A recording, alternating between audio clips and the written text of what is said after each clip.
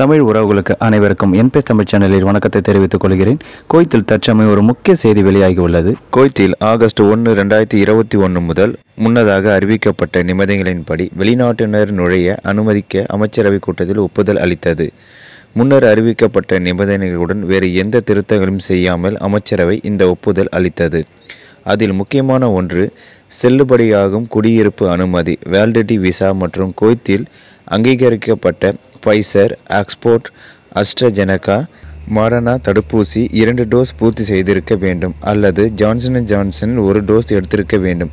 எழுபத்தி ரெண்டு மணி நேரத்திற்கு முன்னர் நடத்தப்பட்ட பிசிஆர் சோதனை முடிவு ஆகியவை தொடர்ந்து குவைத் விமான நிலையத்திற்கு வந்த பிறகு மற்றொரு பிசிஆர் பரிசோதனைக்கு உட்பட வேண்டும். கூடுதலாக ஏழு நாட்களுக்குள் வீட்டு தனிமைப்படுத்துதல் செய்து கொள்ள வேண்டும்.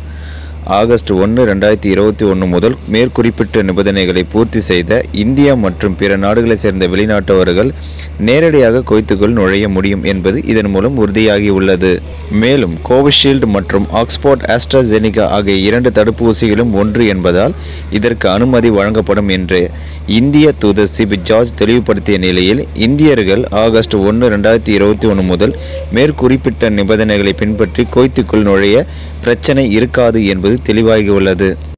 இந்த மகிழ்ச்சியான செய்தி இப்பொழுது உங்களிடம் பகிர்ந்து கொண்டுள்ளேன். மேலும் பல தகவல் வந்தவுடன் உடனுக்குடன் தெரியப்படுத்துகிறேன். இதுபோல பல செய்திகள் உடனுக்குடன் தெரிந்து கொள்ள நமது என்பது தமிழ் சேனலை சப்ஸ்கிரைப் பண்ணுங்கள் லைக் பண்ணுங்கள் ஷேர் பண்ணுங்கள் நன்றி வணக்கம் சகோதர சகோதரிகளே. இது நேர்மையின் பயணம். என்ற முக்கிய தகவல் மற்றும் செய்திகளுக்காக உலகத்தில் உள்ள வெளிநாடுகளில் வாழுகின்ற அத்தனை தமிழர்களுக்காகவும்